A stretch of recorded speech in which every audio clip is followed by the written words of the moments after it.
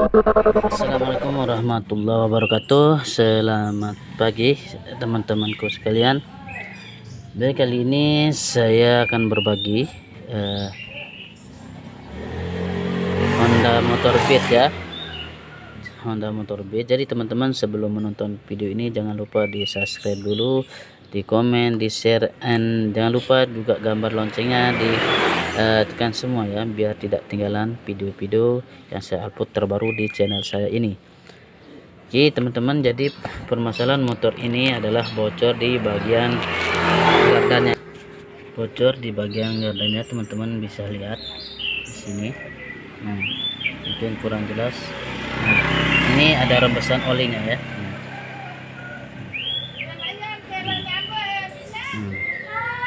ini juga banyak oli-olinya di sini.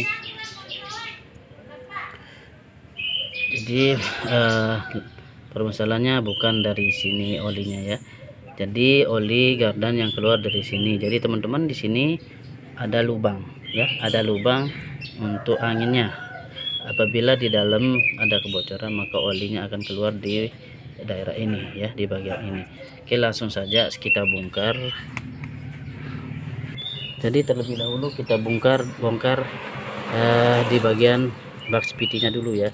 Kemudian baru kita buka bongkar kanal pot sama velgnya dilepas. Karena ini harus dibongkar semua ya. Ini kita bongkar dulu di bagian spitinya ya.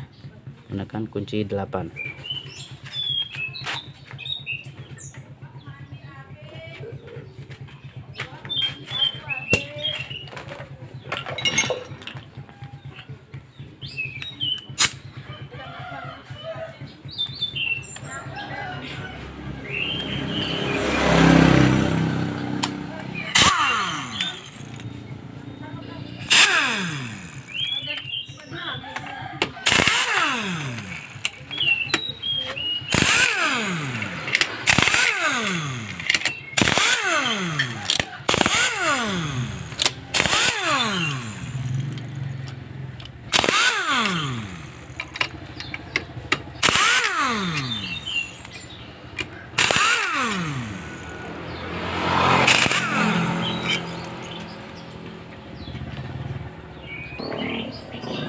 kita buka untuk box PT-nya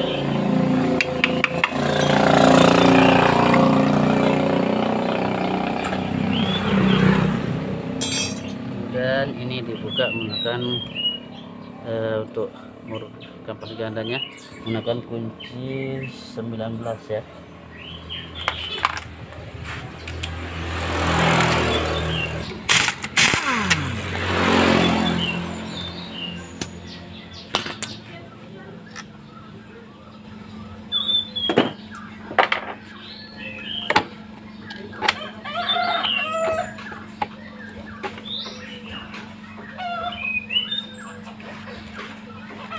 kemudian kita buka baut knalpotnya. Kita buka knalpot.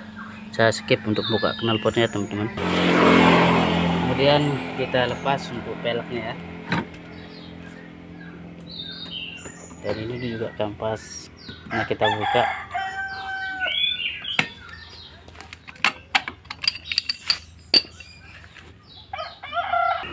Kemudian oli gadan kita buang dulu ya jadi kita pakai oli yang baru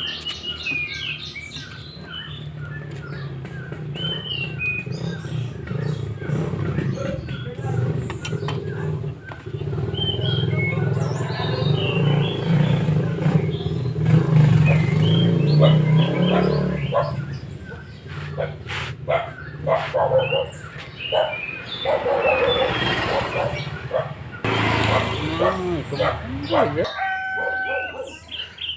kemudian kita buka ya di sini ada baut 10 nya sekitaran 7 atau 8 ini kita buka.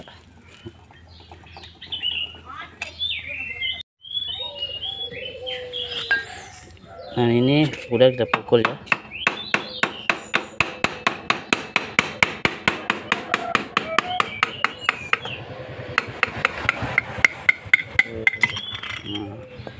Oh, sih. Bilang uli kardan ori dan ini lagi nah seperti ini. Jadi ya teman-teman sudah dibongkar. Jadi bukan permasalahannya di sini ya. Ini teman-teman ada yang komen juga paknya diganti ya. Tapi pak dari sini itu tidak ada permasalahan ya. Jadi yang bermasalah adalah ini teman-teman saya eh, kasih lihat. Ini. Di sini ada namanya sel asroda ya. Jadi ini ketika ini sudah haus atau sudah uh, olinya rembes lewat ini maka uh, bocorannya akan lewat dari sini ya. Nah di sini teman-teman mana ya tadi ya? Nah ini. Di sini teman-teman bisa lihat di dalam sana itu ada lubang yang tembus ke sini. Ke sini ya. Ke sini di dalam asronananya nah di sini. Teman-teman bisa lihat ya untuk lubangnya. Jadi ketika selnya ini rusak olinya akan masuk ke eh, lewat sini ya. Dan akan keluar di bagian lubang ini. Jadi dia menyebabkan olinya rembes ke bagian ini. Jadi ini kita ganti ya. Untuk kita bersihkan dulu nanti untuk pergantian saya videoin lagi kita bersihkan dulu semuanya. Oke teman-teman ini saya sudah bersihkan semua sama yang lain. Jadi penyebabnya adalah ini ya sebenarnya teman-teman. Uh, ini penyebabnya adalah ini. Ya. Ini ya sel as rodanya ya yang bocor. Jadi ini yang menyebabkan oligaran itu bocor jadi cara pemasangannya gampang. Jangan sampai terbalik ini ya. Yang ada lubangnya jadi luar yang ini jadi dalam. Ini kita pasang dan kita pukul-pukul sedikit juga tidak apa-apa.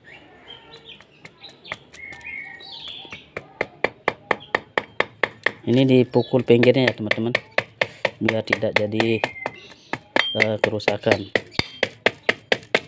Hmm.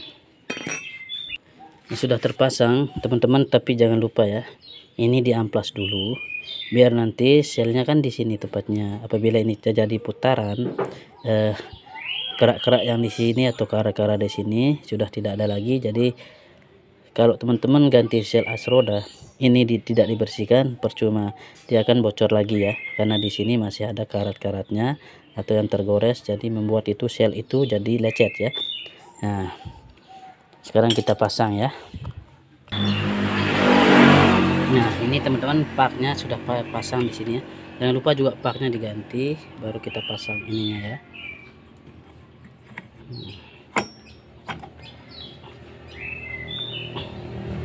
Dan kita pukul-pukul ya.